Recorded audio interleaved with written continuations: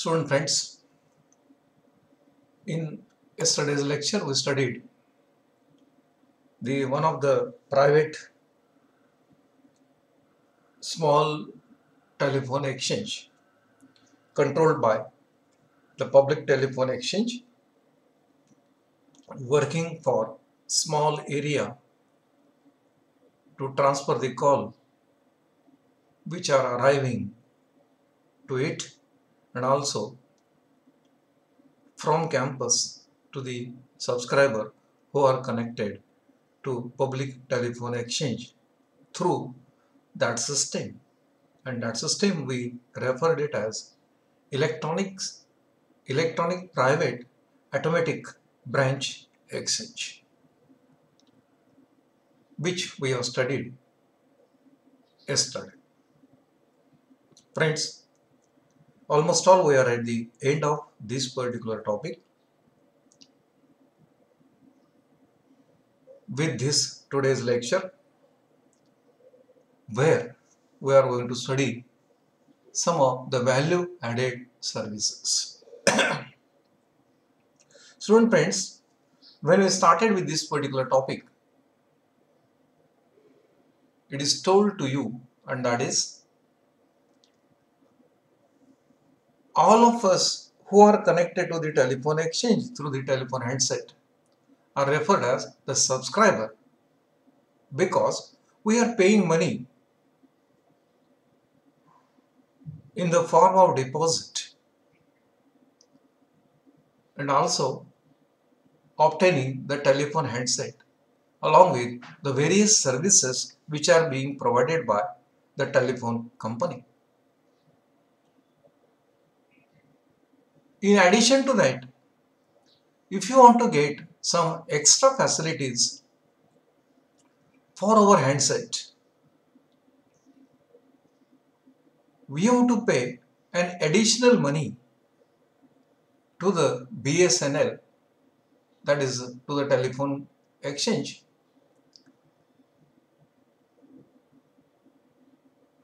And you will we will get the additional services those additional services at the cost of some amount we can call it as value added services. Value it is the word used for paying money. By adding value you can get some extra services from the telephone company. Those services we can refer here it as the value added services. Friends we are going to see what are those services we are going to get by paying additional money. Those services we are going to describe now. The telephone exchange provides additional services other than the routine communication. Means routine communication means communicating through voice signal from one subscriber with the other subscriber through telephone loop with help of telephone exchange. Maybe locally maybe on trunk route maybe STD maybe ISD so all those are we can call it as the routine communication system in addition to those routine services, by paying some extra money, we can get some additional extra services. And those are as per demand of subscriber, for which the extra charges are to be paid. Those services are, we can call it as, first one, a call transfer. Call transfer it has the meaning that suppose you are some outside of your place where your own telephone handset is locating.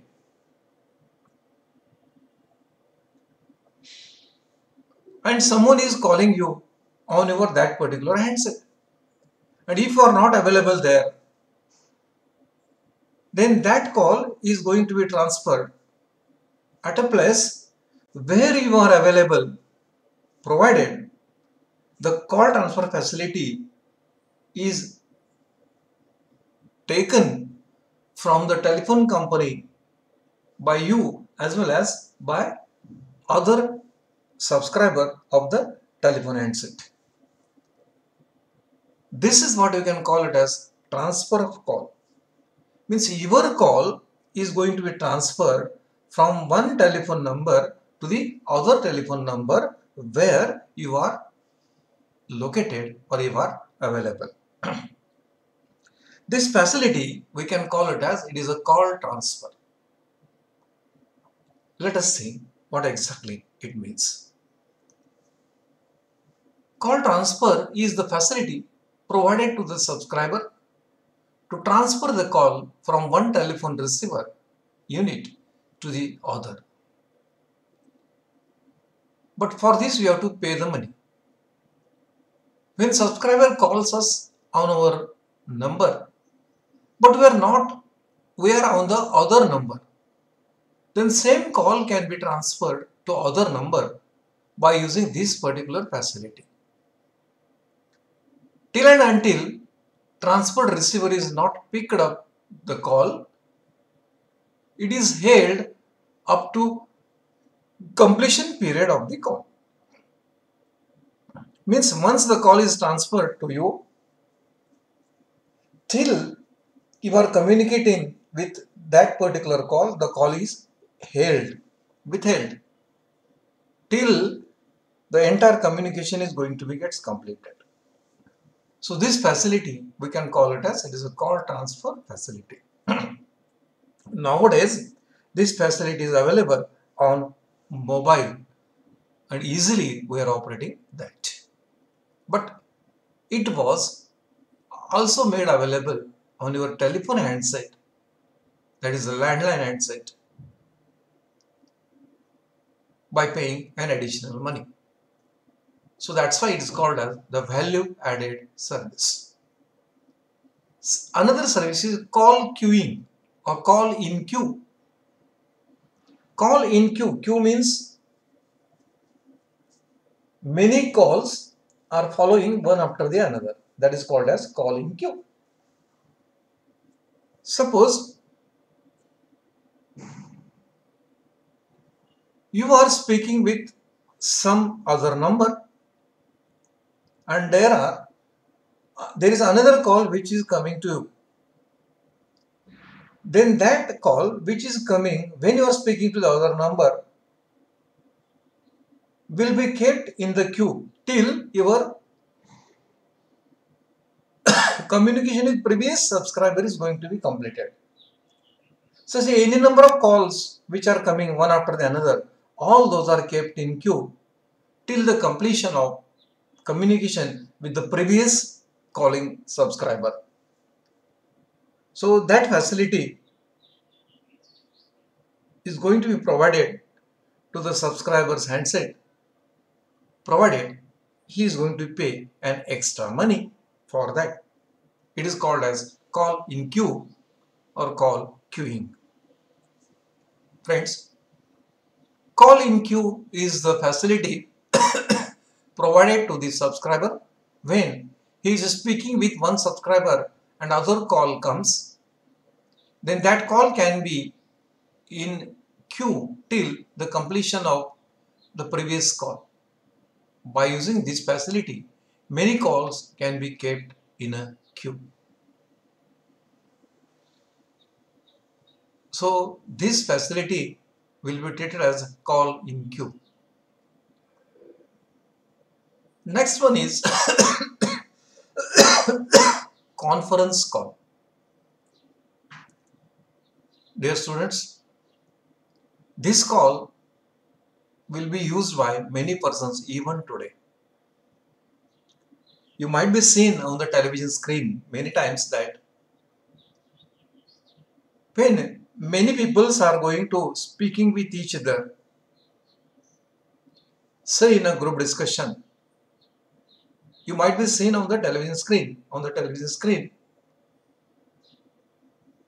then there are many persons who are out of that particular discussion but they were going to be get connected with the telephone handset to participate in that particular discussion as if he feels that he is the part of that particular discussing forum.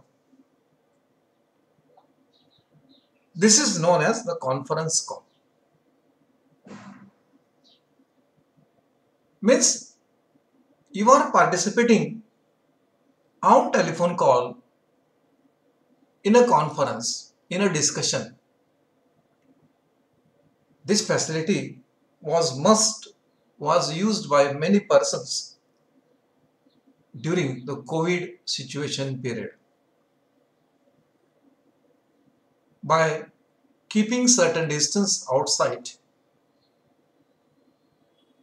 he or she is participating in a particular function on the audio conference call. But nowadays, if you choose the mobile as a device, you can directly prefer the video conferencing call. Almost all you are well aware with that because you are using that particular facility for your mobile. But for the BSNL telephone handset, there was a facility or even it is available nowadays also that is referred as the conference call. Many aspects are there, many group discussions are going on television screen. Suppose whenever the election period is there, such systems are much more useful. when election results were going to be declared on the television screen. Most of the peoples are speaking outside that particular television actually screen who is far away from that particular part and from that he is speaking nowadays audio as well as visually but for telephone handset only audio speaking even though now nowadays audio communication is also taking place because on a screen you will get the picture of that particular person and the telephone handset indicating that he is speaking only with the voice signal and participating in that particular conference. Such a facility you can call it as it is a conference call.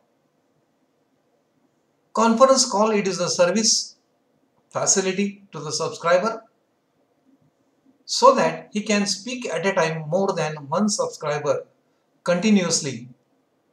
All subscriber can speak with each other even though they are at a distance apart.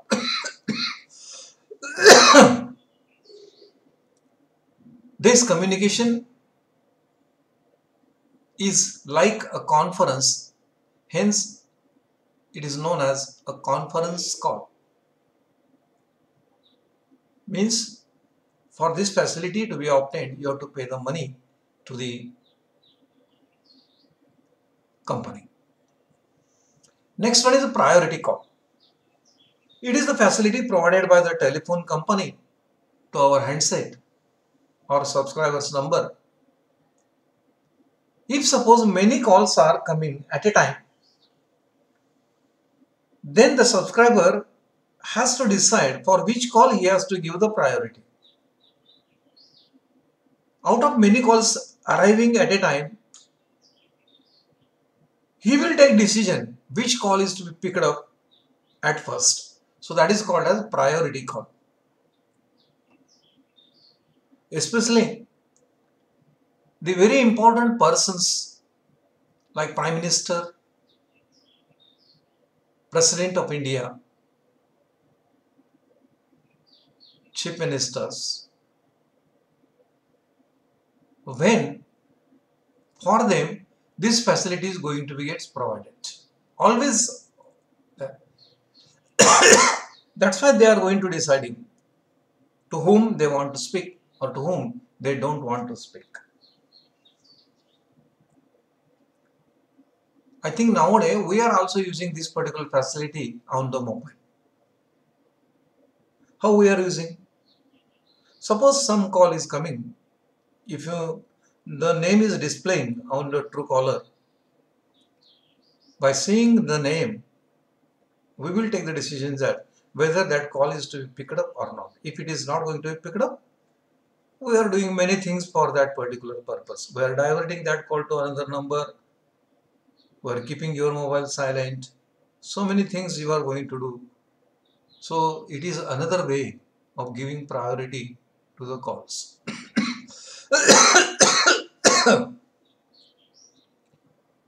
so that is called as priority call. This is the service facility to the subscriber by which the subscriber can give priority to the call if more than one calls are coming simultaneously to a same subscriber. This facility can be used in emergency period for VIP or in defense in national calamity period. VIP persons just I have mentioned Prime Minister, President of India, ministers, collectors, district superintendent of police, ISIS. So all these are using this particular facility. In the defense field, natural calamity means in, in volcanoes period, earthquake period, flood situation, emergency period, uh, hotlines are provided for this particular purpose. By using that, this facility, these persons are giving priority to the call if many calls are arriving at a time. So all these facility is possible to be provided to the subscriber number if the subscriber pays additional money to the telephone company. So that's why these services you can call it as it is the value added services. Not only that, internet facility is there, fax facility is there, all those facility also we can call it as the value added services. But for that particular purpose you have to put some hardware for the same number for your computer. Here that new hardware is not necessary. So that's fine. These services which are obtained by paying additional money from the telephone company to the subscriber's number are known as the value added services. Student friends, that's all about the entire telephone communication. So at last I am going to show you this is the oldest telephone handset having a rotary dialing system. This is stopper. These are the 0 to 9 numbers. Okay, so this is the cradle. This is the cradle switch which are referred. Inside that there are rest of the circuitries that is ringer, ringer, speech circuit, hybrid circuit. All those are present within this. This is the electromechanical system which is used for communicating purpose that makes use of circuit breaker and circuit maker arrangement within this particular dialing system. It is a rotary pulse dialing system with which previously the communication was taking place. But nowadays for electronic telephone exchange this telephone handset is being replaced this one. This is the modern digital telephone handset. So this is the cradle now. Below that there are cradle switch. So this is the DTMF dialing system. Some additional keys are also made available here. so these are the 12 keys. Below that there are touch plates, circuit bouncing circuitries. This is the display, LCD display. So it is called as a caller ID device you are getting the display of that particular number here also you are getting date, time. It has a memory where the number of calls which are arrived and you send outside to the subscriber all those are gets recorded here you can delete call you can set date time automatically. You can get the number displayed number as per your requirement. So it works digitally and it is totally related with electronic telephone exchange presently which is being used. But this was the telephone handset which was used for crossbar Strowger system which was used for the communication. Friends, that's all about the telephone communication system. If you got any queries, any difficulties, any doubts, all the mail IDs, my telephone number are open for you to ask the queries. Your answers will be provided through that particular aspect. Friends, this is all about the telephone communication which we want to be studied.